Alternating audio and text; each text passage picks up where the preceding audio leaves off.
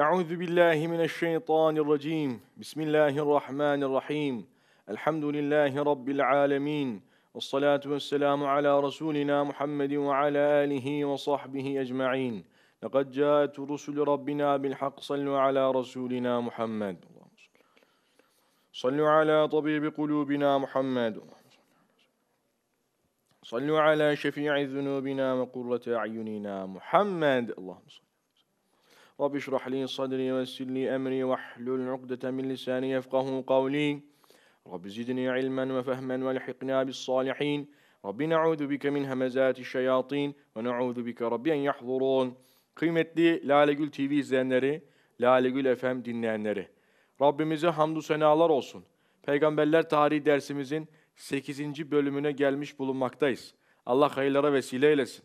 Bugün size inşallah Allah'ımız güç kuvvet verirse Adem Aleyhisselam'ın dünyada yaptıklarıyla alakalı meseleleri ve vefatını konuşacağız. 40 dakika sürecek bu dersimizde Rabbim Celle Celaluhu'dan isteğimiz, arzumuz, okuduklarımız, dinlediklerimizle amel etmeye bizi muvaffak kılması. Amin. Rabbim Celle Celaluhu sizi de bizi de Adem Aleyhisselam'ın hayatından gereken dersleri çıkartıp da hayatımıza uygulamayı nasip eylesin. Amin. Adem Aleyhisselam dünyaya indirildi cennetten. Havva annemizle beraber bir önceki derste konuşmuştuk. E, Adem Aleyhisselam Hindistan'a, Havva annemiz Cidde'ye indirilmişti. Akabinde buluşacaklar. Tabi Adem Aleyhisselam'ın boyu ilk önce göklere değiyordu. O kadar uzun boyluydu ki meleklerin e, tesbihlerini işitiyordu. Melekler bundan biraz çekindiler. Rabbimize bunu arz ettiler. Allahu Teala Adem Aleyhisselam boyunu 60 zira kadar indirdi. Yoksa bulutlara değiyordu. Bulutlara değdiği için kafasındaki saçları bile düşüyordu. Acayip bir durumu vardı yani. Bu kadar uzun boyluydu. Ama Allahu Teala onun boyunu 40 metre, 45 metreye kadar da indirdi. İlk insanın boyu dünyada 45 metreydi. Zaten eski insanların biliyorsunuz boyutları, elleri, Yavuz Sultan Selim Han Hazretleri'nin bir cübbesini görüyorsun. Kocaman yani sen ben 10 tane adam içine girer mübarek. Evet. Dolayısıyla insanoğlu ömür olarak da çok yüksekti. Boy kuvvet olarak da yüksekti. Yavaş yavaş küçüle küçüle gidiyor ve yok olup gideceğiz. Allah son nefeste cümlemize iman selameti nasip eylesin. Adem Aleyhisselam dünyaya indirilince bir yerde oturdu. Bir de baktı ki hapşurdu. Böyle bir tıkandı falan. Ondan sonra burnundan kan geldi. Kanı görünce Adem Aleyhisselam bundan önce de bir kan görmediği için hâlehu mâ Gördüğünden bir korktu. Şimdi düşünün ilk insansınız. Cennette kan falan yok, bir şey yok. E, dünyaya indiriliyorsunuz. Cennette tabii üstünüz bir anda soyuldu, çıplak kaldınız. Dünyaya indiriliyorsunuz. Efendim bir yerden sonra kendisi kendisine cübbe dikecek, elbise dikecek Adem Aleyhisselam. İlk şeyleri yaşıyorsunuz. Kan, hastalık vesaire. Korktu gördüğünden. Yeryüzü de ilk defa kan içecekti yani. Çünkü cinlerde kan meselesi yok. İnsanoğlundan kan akıyor. İlk defa yeryüzüne kan düştü. Bu sefer Adem Aleyhisselam'ın suratı böyle bir karardı yani. Böyle hani insan morarır ya böyle korkunca bir şiddetlenir falan hastalığı. Adem Aleyhisselam korktu. Cenneti hatırladı, cennetin kokularını hatırladı. O korku ve cennet hatırlamasıyla bayıldı. 40 yıl ağladı diyor. Bazı rivayetlerde 100 yıl ağlıyor Adem Aleyhisselam. Sonra Allah Celle Adem Aleyhisselam'a bir melek gönderdi. Sırtını sıvazladı, karnını sıvazladı. Elini kalbin üzerine koydu. Adem Aleyhisselam'dan o baygınlık ve hüzün endişesi kalktı. O kederden dolayı rahatladı. Rahatlığa erişti. Evet yine diyor ki Adem Aleyhisselam yeryüzüne indirildiği zaman 300 sene kafasını göğe kaldırmadı diyor. Çünkü o ağaca yaklaştı, zelle işledi, Rabbimize karşı mahcup oldu. Bir hayat timsali Adem Aleyhisselam ki Adem Aleyhisselam aklı, bütün insanların aklını bir kenara koy. Adem Aleyhisselam aklı daha ağır basar arkadaşlar. Ona göre ha. 300 sene başını göğe kaldırmıyor edepten dolayı. Vay be. Vay be. Biz torunları edepten yoksun kalırsak atamıza ihanet etmiş olmaz mıyız arkadaşlar? 300 yıl. Abdullah İbni Abbas Efendimiz radıyallahu teala anhuma buyurdu. Adem aleyhisselamla Havva annemiz cennetten kaybettiği nimetlere karşılık, Rabbimize karşı mahcup olmalarına karşılık 200 yıl ağladılar diyor. Ne yediler ne içtiler 40 sene. Adem aleyhisselam Havva annemize 100 yıl yaklaşmadı diyor. O mahcubiyetten dolayı. Yani bir birliktelik yaşamadılar. 100 yıl edepten dolayı. Allah edebimizi ziyade eylesin. İman diyor çıplaktır Efendimiz sallallahu aleyhi ve sellem. Efendim onun giysisi takvadır. Onun süsü nedir? Hayadır. Ve zinetuhu hayaun. İmanlıyız elhamdülillah. Bir de edeplimiz olursak imanımızın süsü artar kıymetli kardeşlerim. 40 yıl yemiyor, 100 yıl birliktelik yaşamıyorlar. Efendim. Sonra Allahu Teala Adem Aleyhisselam'a Estaizu billah bismillah fetelakka Ademu min rabbihi kelimatin fetabe aleyh innehu huvettevvabur rahim. Sadakallahul azim. Bakara suresi 37. ayeti kerimede.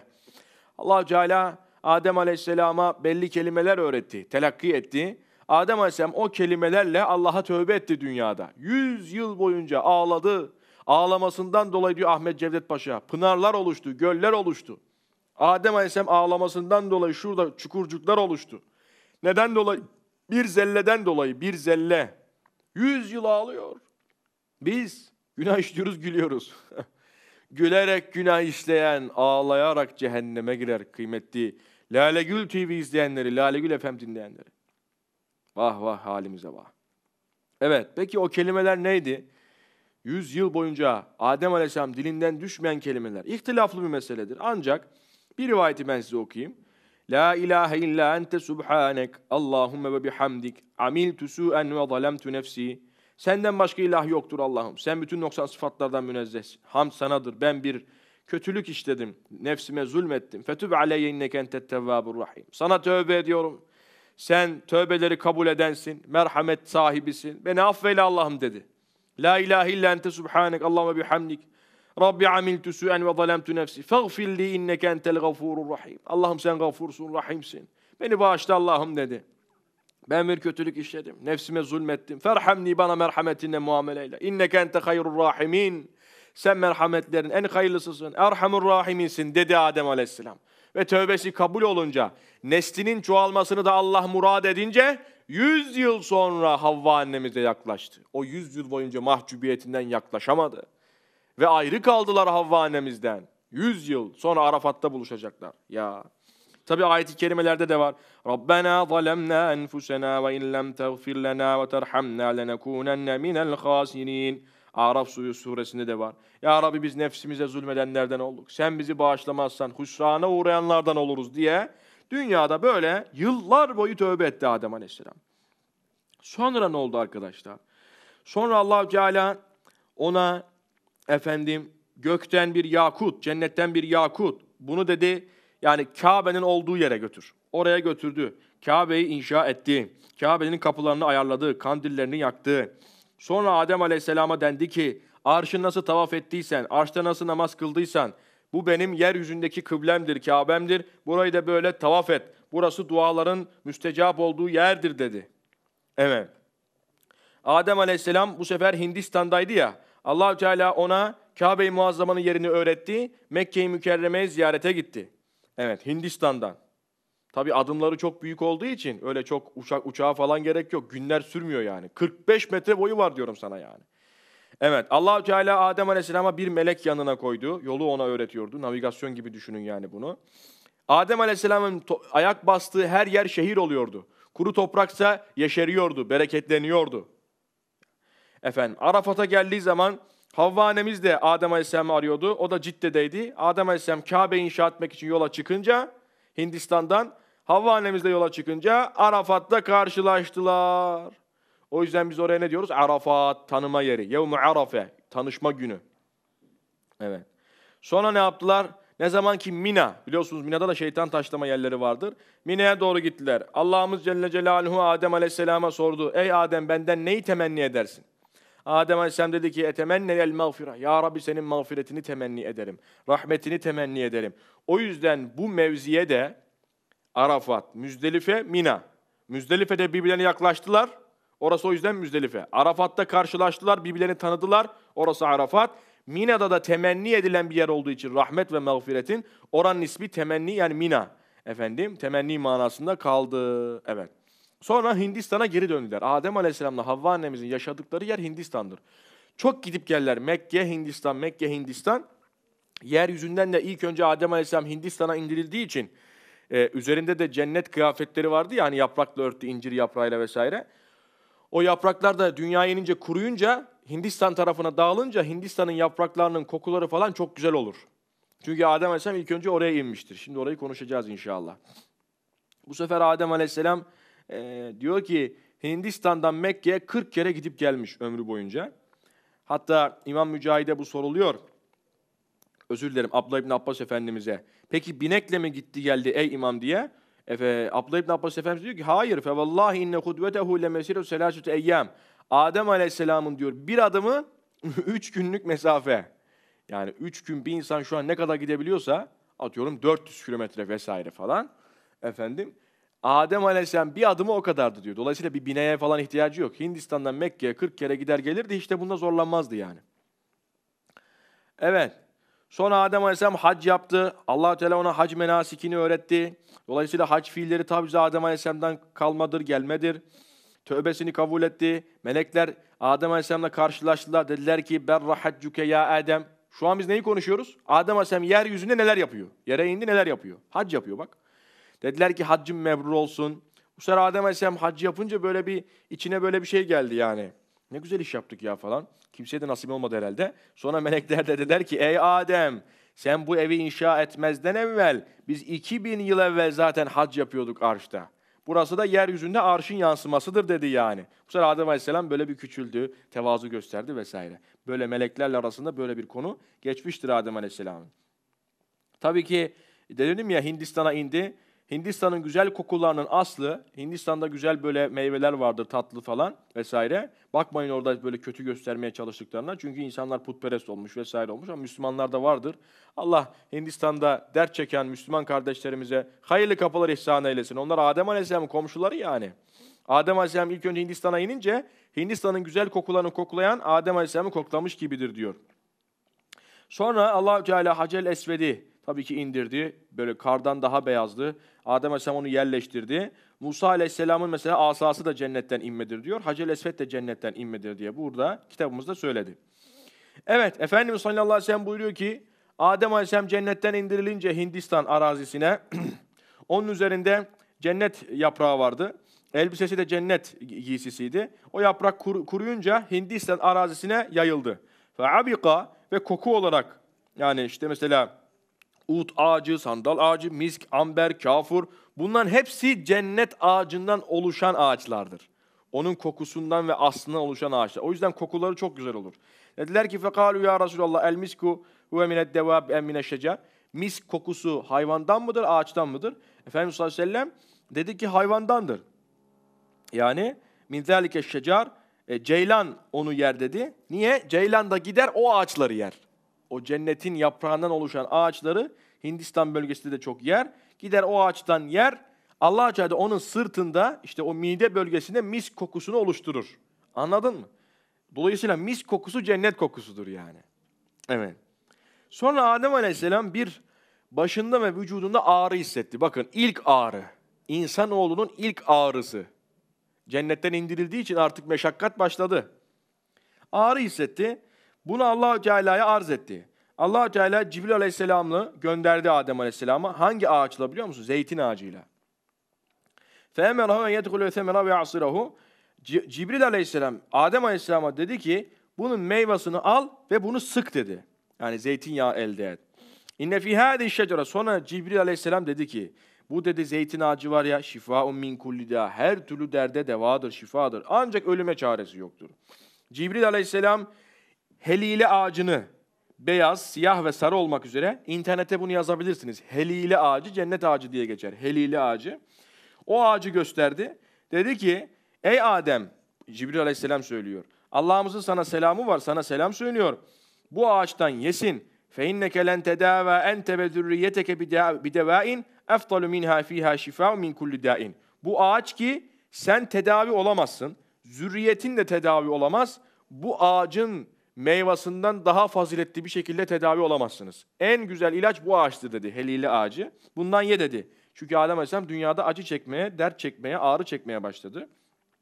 Eğer dedi bu ağacın meyvası işte suyu neyse doktorlar bunu daha iyi bilir. Senin midende olduğu müddetçe korkma dedi Cibril Aleyhisselam.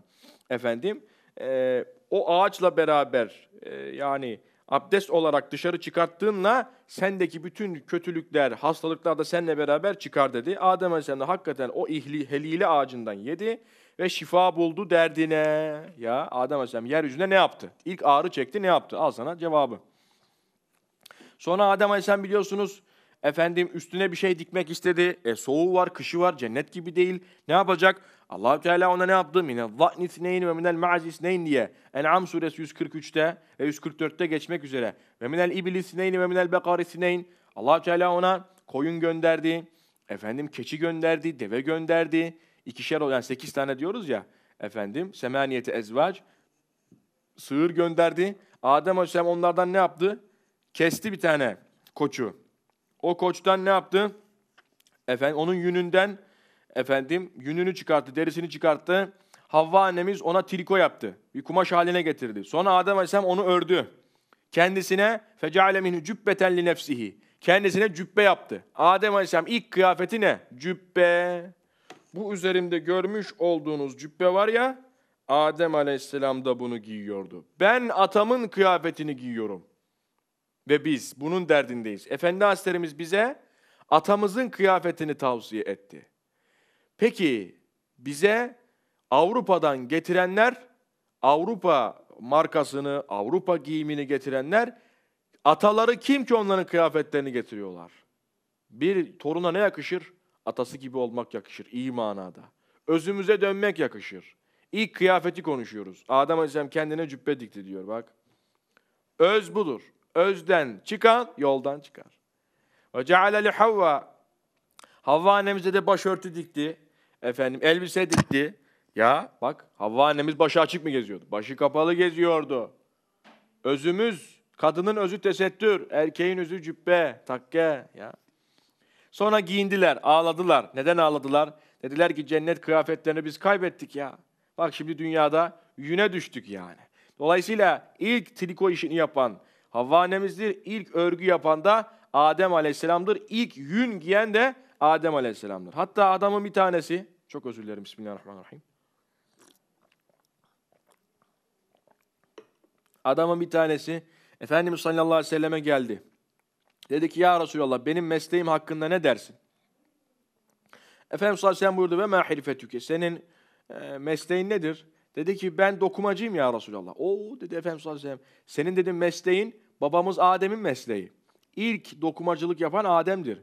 Cebrail aleyhisselam geldi. Adem aleyhisselama dünyada üç gün öğretmenlik yaptı. Ona dünya işlerini öğretmiş oldu. allah Teala senin mesleğini sever dedi o adama dokumacılığı. فَاِنَّا حِرْفَةٌ يَحْتَاجُ لَيْهَ الْاَحْيَا وَالْاَمْوَاتِ Çünkü dokumacılık işine ölüler de ihtiyaç duyar, diriler de ihtiyaç duyar. Ölüye de kefen lazım yani. Her kim ki senin mesleğine kötü bir şey söylerse dokumacılığa, bab baban Adem, babamız Adem onun hasmı olur. Her kim ki dokumacılık, terzilik işini hafif görürse, efendim, Adem Aleyhisselam'ı hafif görmüş olur. Her kim Adem Aleyhisselam'a dokumacılık mesleğine ter, lanet ederse, muhakkak ki Adem Aleyhisselam'a lanet etmiş olur. Her kim de Adem Aleyhisselam'a e, ve özür dilerim, her kim de dokumacılara, terzilere eziyet ederse, Adem Aleyhisselam'a ter, eziyet etmiş olur. Ve ve kasmum yemel kıyame. Adem Aleyhisselam da o mesleği kötü görenlerin hasmıdır kıyamet günü. فَلَا تَخَافُوا اَبْشِرُوا Korkma, müjdelen, senin mesleğin mübarek bir meslektir. Ve Adem Aleyhisselam hakkıyla terzilik yapanları cennete sevk edecek diyor. Hakkıyla. İnsanları aldatmadan, kandırmadan, efendim çalmadan, çırpmadan, dürüstlük, tacir saduk, dürüst bir tacir olursa ne güzel meslek, terzilik mesleği. Çünkü Adem Aleyhisselam mesleği. Gördün mü? Adem Aleyhisselam açlıktan tabi acıkmaya başladı dünyaya indiği zaman. Açlıktan bir şikayet etti. Bunu Cebrail Aleyhisselam'a söyledi. Cebrail Aleyhisselam bekle ben geleceğim dedi sana. Cebrail Aleyhisselam bu sefer örs, çekiç, körük, maşayla geldi. Sonra cehennemden bir parça aldı. Ateş parçası. Bunu efendim Adem Aleyhisselam'a verdi. Adem Aleyhisselam bir anda attı. Çünkü eli onu tutamadı. Yaktı elini. Cebrail Aleyhisselam onu o suyu, efendim o ateş parçasını suya soktu. Bunu yedi kere yaptı. Bundan dolayı Efendimiz sallallahu aleyhi ve sellem buyurur ki inne narakum hadi cüz'ün min seb'ine cüz'en. Dünyadaki ateşiniz cehennem ateşinin 70 cüzünden bir cüzdür. Çünkü o yedi kere yıkanmıştır. Şu anda dünyadakini biz elimize alamıyoruz. Yet, çarpı 70 yap dünya ateşini, cehennem ateşini öğrenmek istiyorsan. Ya Efendim, Sonra diyor ateş Adem Aleyhisselam'la konuştu diyor. İlk ateş yemek pişirmesi için Cebrail Aleyhisselam getirdi ya. Dedi ki ey Adem ben sana itaat etmem. Ben senin evlatlarını yarın kıyamet günü onlardan intikam alacağım. Çünkü Allah'a asilik yapacaklar. Cebrail Aleyhisselam dedi ki bu sana itaat etmez ama allah Teala ona emretti. Sen onu artık kontrolün altına alabilirsin. Evlatların da kontrolün altına alabilir. Çünkü o ateşte size menfaatler vardır. Mesela taş ve e, demiri de ateş yakmaz. Dolayısıyla demir ve taş da onu kontrol altına alır. Dolayısıyla Adem Aleyhisselam'ı çekiç, körük, örs, maşa bunlarla ateşi kullanmayı Cebrail Aleyhisselam'dan öğrendi ve kendine yemek pişirecek arkadaşlar. Tamam mı? Zaten deve, sığır, koyun, keçi bunlar Adem Aleyhisselam'la beraber dünyaya indirilmiştir. Ondan önce dünyada yoktu. Efendim sonra Adem Aleyhisselam dedi ki ey Cibril dedi ateş benim elimi yaktı da senin elin nasıl yakmıyor dedi ya. Bakın bakın tarihi bir cevap. Cebrail aleyhisselam dedi ki ey Adem ben Rabbime hiç asi olmadım. Ama sen ağaca yaklaştın, zelle işledin, ateş o yüzden seni yakıyor dedi yani. Dolayısıyla bir insan ne kadar günahlardan uzaklaşırsa, kendini soyutlarsa ateş onu yakar mı? Yakmaz kıymetli kardeşlerim. Allah size de bana da günahlarla aramıza mesafe koymayı nasip eylesin. Amin, amin. Diyor ki Adem Aleyhisselam'la beraber mesela demir de Adem Aleyhisselam'la beraber inmiştir. Suratül Hadid diye bir sure vardır Kur'an-ı Kerim'de. Tefsirini bakarsanız Hadid suresi oradaki demir Adem Aleyhisselam'la beraber yeryüzüne indirilmiştir. Adem Aleyhisselam yani bütün yeryüzü altın olsaydı mesela ne yarar? Çünkü sana yemek pişirecek kap lazım. Altını eritemiyorsun, o şekle sokamıyorsun. Demirin öyle bir özelliği var. O yüzden dünyada en çok bulunan yer altında elementlerden üçüncüsü demirdir. Ve petrol gibi sonradan ortaya çıkan bir şey değildir. Sanki biri onu eliyle oraya koymuş. Tabii ki Allah Celle koydu bunu, yarattı. Neden? Biz insanlara menfaat olsun, yeryüzü bize hizmet etsin diye. O yüzden demir de Adem Aleyhisselam'la beraber yeryüzüne konulmuştur arkadaşlar. Çünkü her tarafın altın para olsa da tencere olmazsa, çatal kaşık olmazsa sen yemek pişiremezsin. Altın karın doyurmaz, yemek karın doyurur ama altın da onu almak için lazımdır tabii. İşte buradaki rivayette de Adem Aleyhisselam'la beraber altın da dünyaya cennetten indirildi diyor. O yüzden altın mesela e, nemli toprak, ıslak toprak veya yeryüzü altını eritmez veya bozmaz veya eksiltmez ve ateş de onu yiyemez. Çünkü cennetten getirilmiştir diyor. Altınla alakalı da böyle bir rivayet var. Bunu da size söylemeyi uygun gördüm. Abdullah İbni Abbas Efendimiz buyuruyor ki Adem Aleyhisselam'la beraber yeryüzüne üç şey indirildi. Mesela Mersin ağacı diye geçiyor. O diyor dünyadaki kokuların efendisidir. Sümbül dünyadaki yemeklerin efendisidir. Acve Acibe de cennet meyvelerindendir. Adem Aleyhisselam'la beraber dünyaya indirilmiştir. Zira Efendimiz sallallahu aleyhi ve sellem Ebu Hureyre'den, Hazreti Ayşe'den ve Abla, Abla İbni Abbas Efendimiz'den radıyallahu teala anhumdan rivayetle buyurmuştur ki innel acvete min gırsil cenne.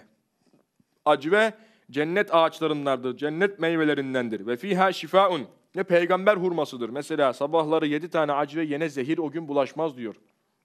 Anladın mı? Bakmayın siz Caner Taslama bunlarla kafa buluyor, dalga geçiyor. Biz Resulullah sallallahu aleyhi ve sellem'in hadis-i şeriflerine gönül vermiş ve iman etmiş insanlarız. Allah bizi ayırmasın. Ve yine Efendimiz sallallahu aleyhi ve sellem buyuruyor ki ve aleykum bit temri berni. İnternete girerseniz berni hurması. Berani yazın, berni yazın. Böyle biraz kurudur, toprak gibi rengi vardır. Diyor ki o meyveden yiyin diyor o hurmadan. Çünkü o hurma ağacındayken Allah'ı tesbih eder onu yiyene de istiğfar eder diyor. Onu yiyene Allah'ım onu affet der diyor. Çünkü Allah Celle her yarattığı şey Allah'a zikreder mi? Eder. Ayette sabit ve emmin şeyinden yusebbihu bihamdi. Neyi yarattıysak Allah'a zikrediyor. Berni hurmasını size tavsiye ediyorum. Acı hurması da cennet meyvelerindendir.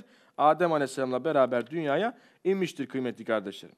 Yine Vehb bin Münebbih Rahimehullah'tan rivayetle Adem Aleyhisselam dünyadayken allah Teala Adem Aleyhisselam'a dedi ki Ya Adem ben sende dört tane ilim topladım.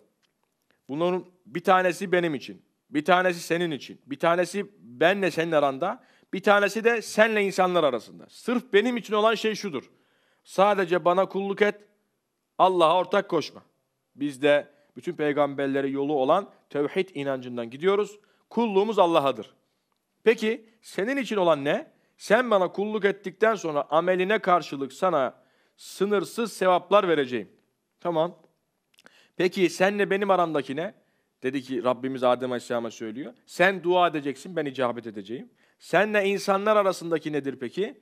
Kendin için istediğini insanlar için de iste. O zaman imanın kemalata erer. Evet.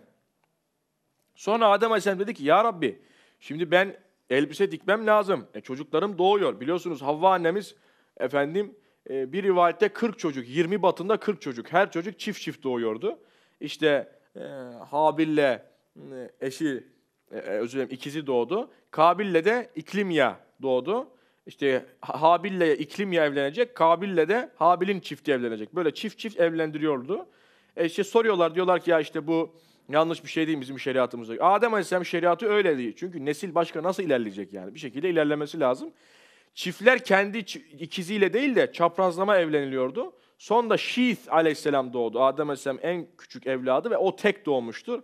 Adem aleyhisselam 400 bin torununu gördü öyle vefat etti. Bin yaşında vefat etti.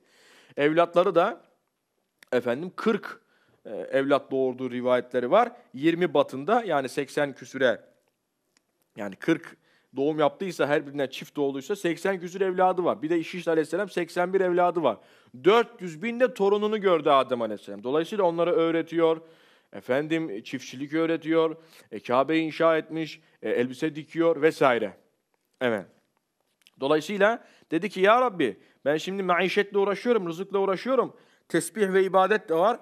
Ama tesbih ibadetlerini yani sana kulluk ibadetlerimi bana dünyadayken öğretir misin? Vakitleri öğreneyim. Allah Teala bu sefer Adem Aleyhisselam'a horozu gönderdi. Horoz. Dedi ki sen bunun sesini işittiğin zaman anla ki melekler tesbih ediyor ve sabah namazı vakti girdi yani. E, hadis-i şerifte de buyuruyor. Horozun diyor e, öttüğünü görürseniz siz de Allah'ı tesbih edin, Allah'a dua edin. Çünkü horoz melekleri görür. Ama sen eşeğin anırmasını görüyorsan euzu besmele çek. Çünkü o şeytanları görür. Bunlar sayı hadis-i şeriflerde vardır. O yüzden ilk evcil hayvan nedir? Al sana bir milyon liralık soru. Dünyada ilk evcil hayvan nedir? Horozdur. Adem Aleyhisselam onu aldı, evcilleştirdi, onu yanına koydu. O öttüğü zaman ibadet vakti giriyordu. Adem Aleyhisselam vakitleri tayin ediyordu. Sonra o vakitleri oğlu Şiith Aleyhisselam'a da öğretecek Adem Aleyhisselam. Dolayısıyla dünyada böyle böyle işler oldu. Peki sonra nereye geldik? Adem Aleyhisselam vefatına geldik. Bu şekilde evlatlarıyla yaşadı. Hindistan'a gitti, geldi. Habil Kabil kıssasını bizzat başka bir programda anlatmak isterim. E, şu anda Adem Aleyhisselam'ın hayatını elhamdülillah bitiriyoruz. Vefatı konumuna gelmiş durumdayız. Adem Aleyhisselam güzelliği mesela Efendimiz sallallahu aleyhi ve sellem buyuruyor ki Yusuf'un güzelliği Adem Aleyhisselam'ın güzelliğinin yarısıdır diyor. Adem Aleyhisselam Safiyullah. İbn Kesir de ve hâzâ münasibun demiş. Bu çok münasip bir manadır. Zira Adem Aleyhisselam'ı tasvir eden, yani yaratan, biyedi diye ifadeleri kullanmıştık. Rabbimiz Celle Celaluhu'dur kıymetli kardeşlerim. Peki vefatında ne oldu Adem Aleyhisselam'ın? Ne zamanki vefat günü geldi, oğlu e, Şiz Aleyhisselam'a Adem Aleyhisselam günlerin gecelerin saatini öğretmeye başladı. Ondan sonra e, ibadet saatlerini öğretti. Tufanın vaktini öğretti. Tufan dedi şu vakit olacak dedi. Nuh Aleyhisselam dönemini. Dolayısıyla inne insa ve beni ademil yevm Dolayısıyla bütün e, Adem oğlunun nesli Şis aleyhisselama dayanıyor. Çünkü diğer evlatlarının soyları kesildi. Soy Şis aleyhisselamdan devam etti diyor İbni Kesir Hazretleri. Adem aleyhisselam vefat edeceği zaman, vefat ettiği zaman ay ve güneş tam arkadaşlar e, 6 gün, bir rivayet 7 gün tutuldu. Ondan sonra Adem aleyhisselam vefat edeceği zaman, vefat ettiği zaman e, Cebrail aleyhisselam geldi. Dedi ki Şiith aleyhisselama. Çünkü Adem aleyhisselamın nuru, alnında ne nuru vardı Adem aleyhisselamın? Muhammed Mustafa'nın nuru vardı sallallahu aleyhi ve sellem. O nur en son kime geçti? Şiith aleyhisselama geçti. O zaten tek çocuk olarak doğmuştur. Dolayısıyla Şiith aleyhisselam Efendimiz sallallahu aleyhi ve sellemin atalarındandır, dedelerindendir. Cebrail aleyhisselam da Şiith aleyhisselama dedi ki babanın namazını sen kıldır. Efendim Fekale lehu Cibril tekaddem ente fesalli ala ebiki. Özür dilerim. Şiit aleyhisselam Cebrail aleyhisselama dedi ki sen kıldır. Cebrail aleyhisselam dedi ki yok babanınkini sen kıldır. Bu sefer Şiit aleyhisselam Adem aleyhisselam cenazesini kıldırdı. 30 tekbir diyor burada. Ee, ama İbn Kesir'de 5 tekbir olmak üzere diye söyleniyor. Burada da 30 tekbir söylenmiş. 5 ama daha kuvvetli olanıdır kıymetli kardeşlerim. Cenazesini kim kıldırdı derseniz Şiit aleyhisselam kıldırmıştır. Sonra nereye defnedildi Adem aleyhisselam? Rivayet Mekke'ye defnedilmiştir. Bir rivayette Ebu Kuveys dağına defnedilmiştir. Malumunuz Nuh Aleyhisselam tufan kopacağı zaman Adem Aleyhisselam'ın e, kabrini buldu. Onu aldı, geminin ortasına koydu. Adem Aleyhisselam kabrini koydu çünkü her taraf yok olacak. Adem Aleyhisselam kabri yok olmasın diye aldı onu, geminin ortasına koydu. Erkekleri bir tarafa koydu, kadınları bir tarafa koydu. Birbirine haremlik selamlık olanları. Haremlik selamlık meselesini Nuh Aleyhisselam'ın gemisinde dahi tesis etti. Neyle? Adem Aleyhisselam kabriyle. Kabri nerede? Şu anda Cidde'de olduğu da söyleniyor. Adem Aleyhisselam'la Havva annemiz. Yani Mekke'de diyen de vardır. Ebu Kubeys Dağı'nda diyen de vardır. Kıymetli kardeşlerim. Cuma günü vefat etmiştir. Bir yıl sonra da Havva annemiz vefat ediyor. Cenazesini melekler tarafından kılınıyor. Malumunuz e, Adem Aleyhisselam ölüm döşeğindeyken meyve canı çekti cennet meyvelerinden. Evlatları yola çıktılar Adem Aleyhisselam'ı bu meyve bulmak için. Orada melekleri gördüler. Melekler dediler ki siz nereye gidiyorsunuz? Dedi ki babamız böyle böyle meyve istedi. 15 gün sürdü Adem Aleyhisselam'ın ölüm döşeği. Dediler ki babanız şu an vefat etti. Gelin meyveyi bırakın. Gittiler beraber yıkadılar.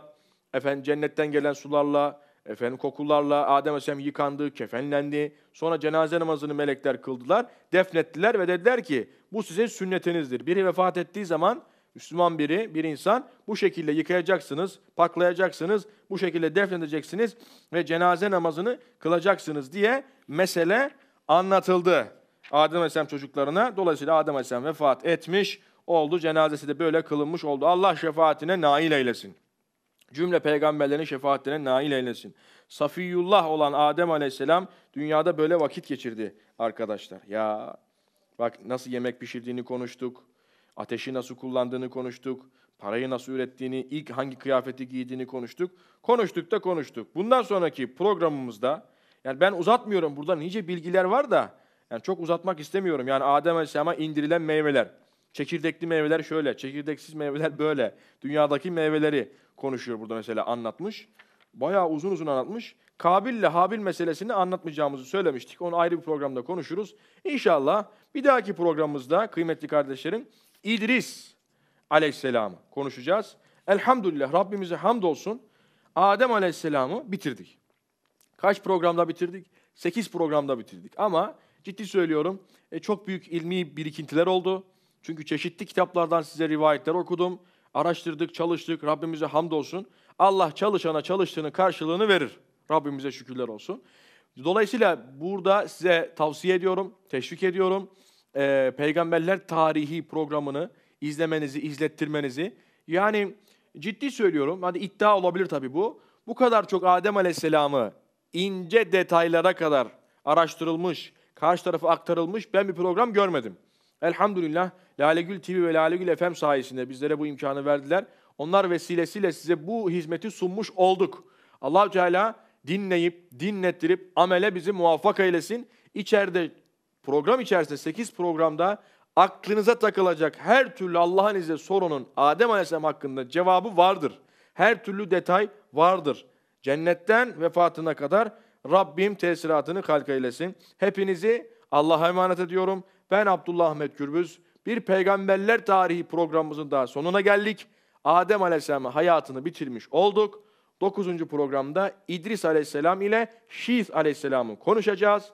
Ondan sonra sırayla bu şekilde devam edeceğiz. Adem Aleyhisselam hayatı uzun. Cennet meselesi olduğu için uzun sürdü. Ha, diğer peygamberler bu kadar uzun sürer mi? Sürmez diye düşünüyorum. Allahu alem. Ancak Musa Aleyhisselam gibi Kur'an'da çok anlatılmış. Efendim. E, Yusuf Aleyhisselam'ın kıssası 12 sayfa. Bu şekildeki peygamberler biraz uzun sürebilir. Ama detaylandırıyoruz.